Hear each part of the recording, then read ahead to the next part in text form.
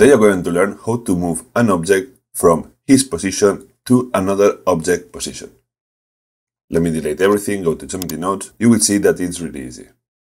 Let me close this and create a new profile. So I'm going to create another object and I'm going to put it here. So I want this object to move from here to here. First, let's bring this node information. And basically, we want to move this cube. So we need to put a set position. Shift A, set position. And we are going to play with the offset. So we can say, hey, can you go here in this position? To do that, we can do actually is to get the position of this object and connect it to offset. And now when we move this object, always will be attached the cube because what we did is to say always be in the location of this object. Okay, but how we do to make a transition from here to here? For this, we need a mix vector.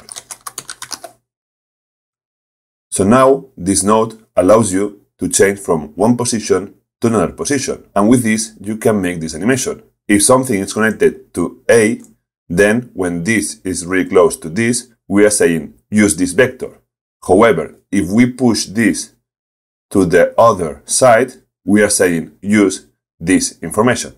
Now is 0, 0, 0, so that's why the cube is here. And if we move this and put it like that, you can see how we can make an object to be animated from one position to another.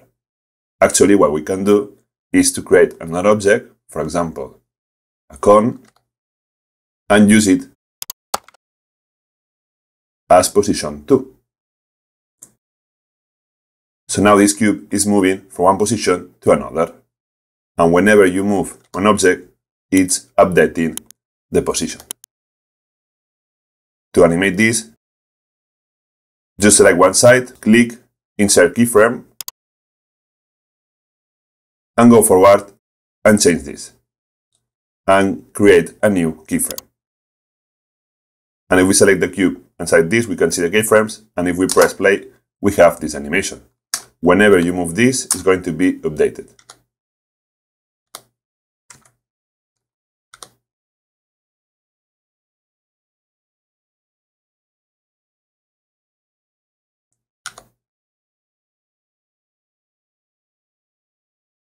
If you don't want to see objects, what you can do is to use empties.